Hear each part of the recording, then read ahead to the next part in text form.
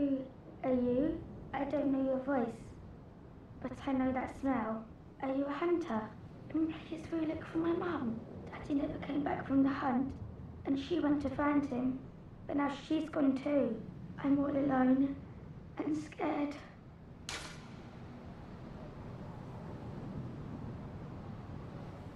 Really? Oh, thank you. My mum wears a red jeweled brooch.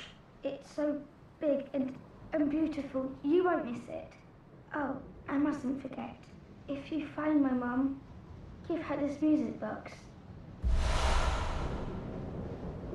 It plays one of Daddy's favourite songs.